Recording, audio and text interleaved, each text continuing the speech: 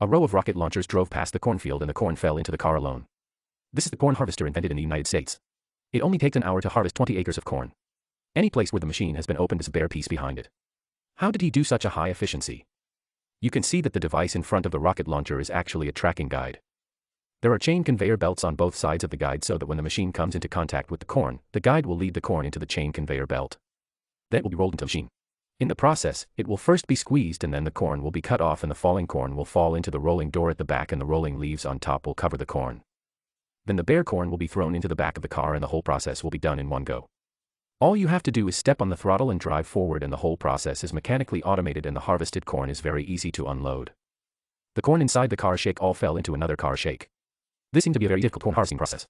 A harvester can be easily solved while saving manpower and accelerating the speed of corn harvesting in different sizes of corn fields.